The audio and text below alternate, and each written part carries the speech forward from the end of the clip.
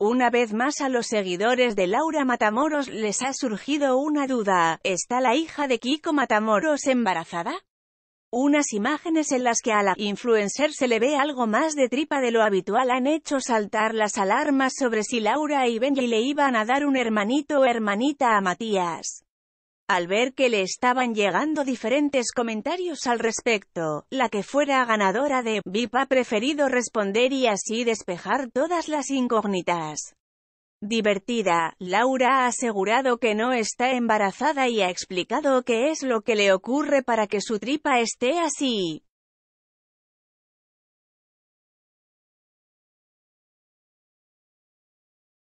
Laura Matamoros ha contado que lo que le sucede es que está hinchada, por algo que me he comido o no sé por qué.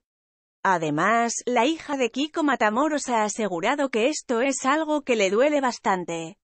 Ahora que estoy leyendo vuestros mensajes me asombra que muchos que sois muy graciosos me decís que me queréis ver embarazada.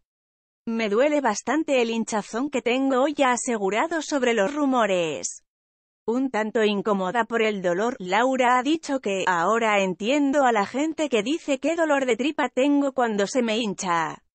Y sí, es muy muy molesto.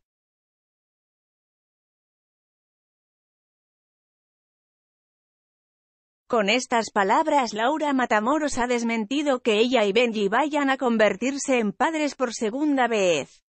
Por el momento los dos están volcados en sus trabajos y en el cuidado del pequeño Matías. Ella está cosechando muchos éxitos como influencer y el no para de crecer como empresario del sector de la restauración. Hace solo unos días celebraron la llegada de No Name Bar a Barcelona.